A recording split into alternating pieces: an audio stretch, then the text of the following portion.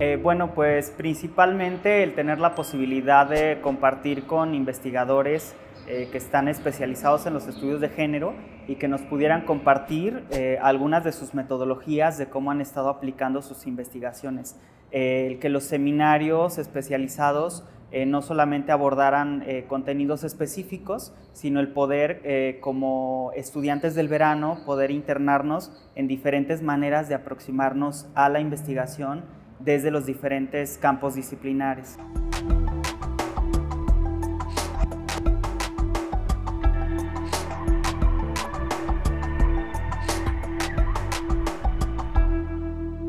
Bueno, lo que más atesoro del, verano de investigación es esta posibilidad de construir una red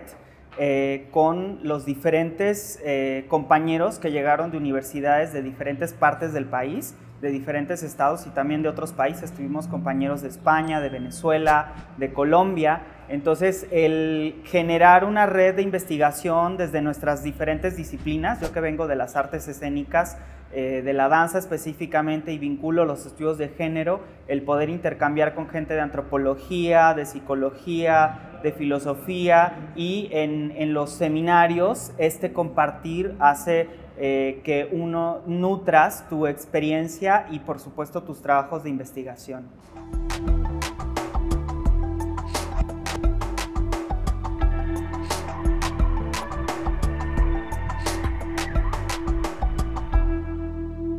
Para mí, eh, pasar un mes como estudiante en, en el verano de investigación del PM eh, implicó eh, avances eh, muy grandes para mi trabajo de tesis sobre masculinidades polimórficas en la coreografía contemporánea mexicana y creo que el tener la posibilidad de acceder a la biblioteca Daniel Cosío de Villegas pues es un súper regalo. O sea, el poder estar de lleno trabajando en la mañana en los seminarios, en los cursos especializados